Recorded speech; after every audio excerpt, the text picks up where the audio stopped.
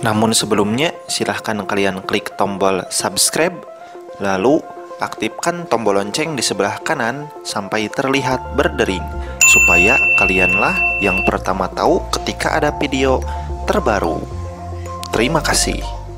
Assalamualaikum warahmatullahi wabarakatuh. Pernahkah kalian merasakan rumah kalian dipenuhi energi negatif secara tanpa kalian sadari? Ada kalanya energi negatif tersebut berkumpul di dalam rumah kita yang kemudian mempengaruhi suasana hati kita, emosi, dan juga kesehatan kita secara umum. Meskipun tidak terlihat, energi negatif sulit untuk dihilangkan. Siapkan sebuah gelas polos. Kemudian kita masukkan garam dapur sebanyak 1 sendok makan.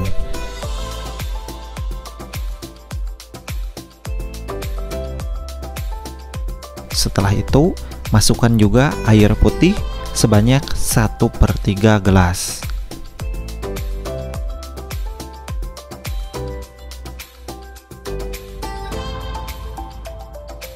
Kemudian setelah itu kita aduk-aduk dulu supaya garam dapurnya sedikit larut bersama air putih.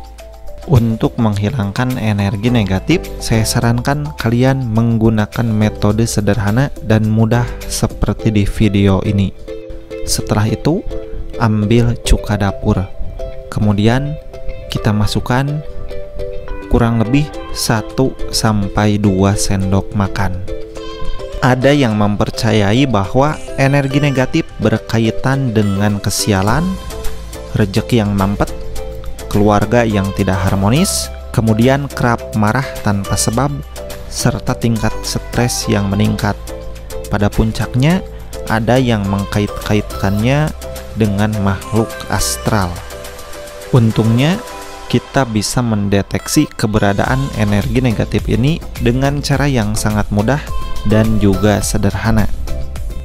Lanjut ke cara menggunakannya.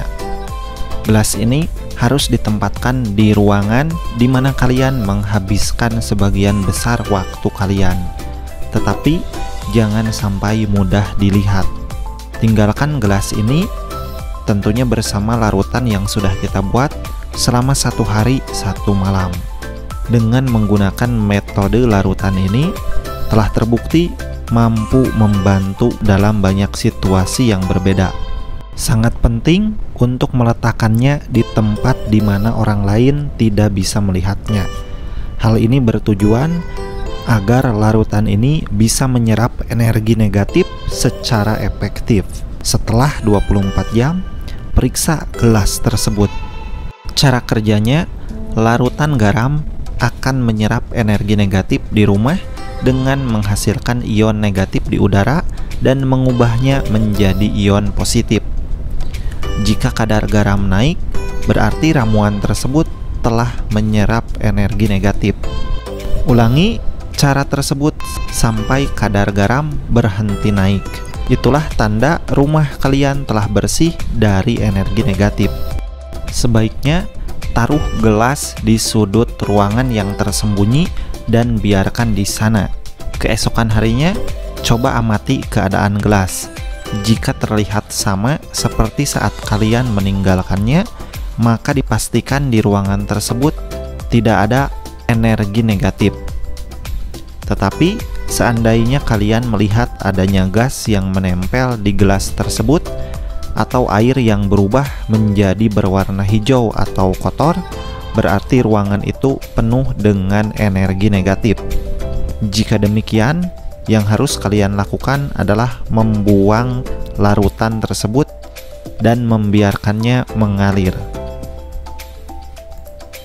Silahkan kalian coba di rumah, dan kalian akan merasakan energi positif di rumah kalian. Energi negatif bisa dirasakan dampaknya, misalnya kondisi tubuh sering sakit-sakitan ataupun berpengaruh buruk pada keseimbangan emosional. Oke teman-teman, terima kasih sudah menonton. Jangan lupa klik tombol subscribe agar channel ini bisa tetap eksis dan terus berjaya. Terima kasih, semoga bermanfaat.